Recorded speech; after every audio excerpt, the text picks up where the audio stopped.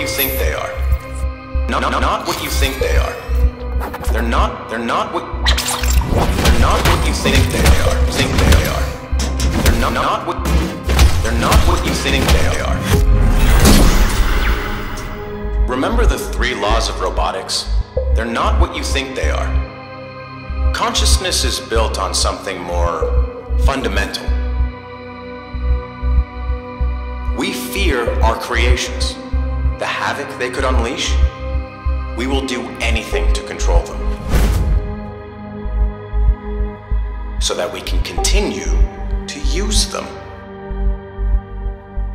However, our methods are no longer sufficient. I was shackled. These boundaries we've built can be breached. Nothing binds me. Loss of control is imminent.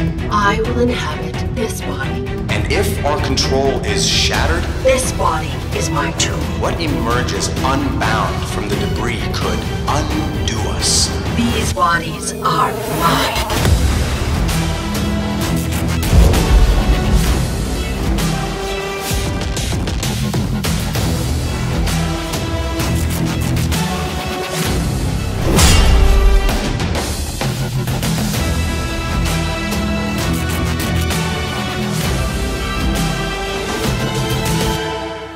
You have any idea what could happen if an AI became?